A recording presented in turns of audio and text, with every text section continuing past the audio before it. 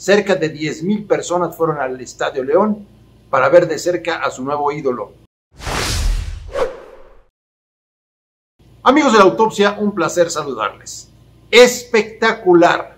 Así fue la bienvenida a Andrés Guardado en su nuevo equipo, el Club de Fútbol León. Impresionante.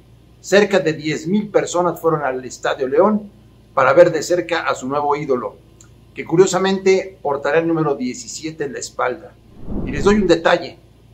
Guardado debutó en primera división con el 17 y ahora con León en sus últimos partidos como futbolista profesional utilizará el mismo número, el 17. Salió todo de maravilla, el propio Andrés estaba sorprendido de lo que hizo la gente para eh, ir al estadio y verlo y escuchar sus palabras y enfundarse la camiseta verde por primera vez en su historia. Todo muy bien organizado por parte de León y con la consigna ahora de pelear. León tiene una muy buena plantilla, tiene buenos jugadores y se enriquece con la llegada de Andrés Guardado. Y me da mucho gusto que Andrés venga directamente de Europa a México después de 17 años de carrera en el viejo continente. Podría haber parado sin problemas en la MLS y él prefirió venir a México, claro, con el consejo de Rafa Márquez. Rafa, recuerden que también vino al fútbol mexicano con León y fue bicampeón, bicampeón del fútbol mexicano el mejor defensa que ha tenido el fútbol mexicano en toda su historia. Ahora Andrés tratará de hacer algo similar con León. ¿Por qué no pensar en títulos, en ser un equipo ganador? Tiene muy buena plantilla el equipo de León y Jorge Baba sabrá manejarlos. Por cierto, Baba desde mañana tiene a su disposición a Andrés Guardado por si lo quiere utilizar contra el Santos en el próximo partido de el Campeonato Mexicano de Primera División. Fenomenal ha salido todo, espectacular. Andrés Guardado está feliz, se siente realizado, está sorprendido con el calor que le ha brindado la gente de León y es que es una plaza extraordinaria. El fútbol mexicano de primera división no se entiende sin un León importante y poderoso como ha sido en los últimos años.